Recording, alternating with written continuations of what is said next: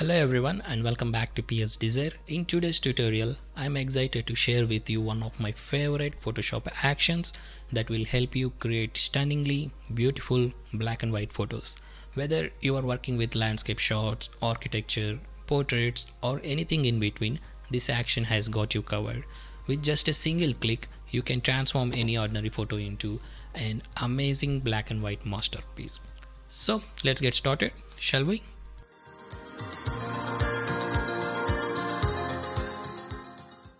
First things first, you will need to download and install the action. You can find the link to download it in the description below. Once you have got the action installed, open up the photo that you want to transform in Photoshop. Next, open up the Actions panel by going to Window menu, Actions. If you have never used actions before, they are like little scripts that perform a series of tasks automatically, which saves you time and effort. You should see the action you just install listed in the panel. To apply the action to your photo, simply select it in the actions panel and then click the play button at the bottom of the panel. Photoshop will then run through all of the steps in action and before you know it, your photo will be transformed into a beautiful black and white image. After converting your photo to black and white, it's time to fine tune the settings to bring out the best in your image. You will notice that there are three adjustment layers curves, brightness and contrast and channel mixer. You can adjust these settings accordingly to your preference. But before you make any adjustments, make sure to hide the gradient fill layer. We will use this last. Now let's dive into the channel mixer. Here you will see the red, green and blue channels. Each channel has its own role in shaping the final look of your image. The blue channel, for instance, makes any details in the photo stand out. By increasing it, you can make the texture and details in the image pop, which can add a lot of depth and interest to your photo.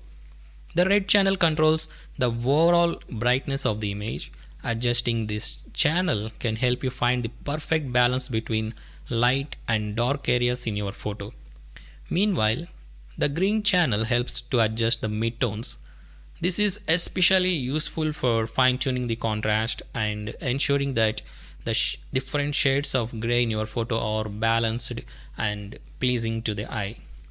Once you have made the necessary adjustments to these settings, it's time to bring back the gradient fill layer. This layer acts like a center light, adding a subtle glow to the center of your image. You can open the gradient fill settings and move it around to place it wherever you want. I often use this on subject's face or to make any particular object stand out.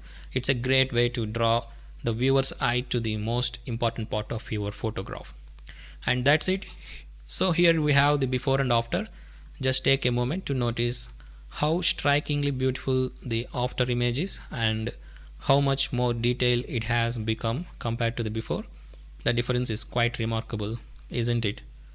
This Photoshop action is available to everyone whether you are PC or Mac user. So what are you waiting for? Dive into the description section right now and you will find the download link waiting for you there. It's easy to install and even easier to use but the results absolutely stunning and remember to subscribe for more tutorials and actions if you have any questions or need a bit of help getting started i always here to help just drop a comment below and I will do my best to assist you. See you guys in my next video. Take care and happy editing.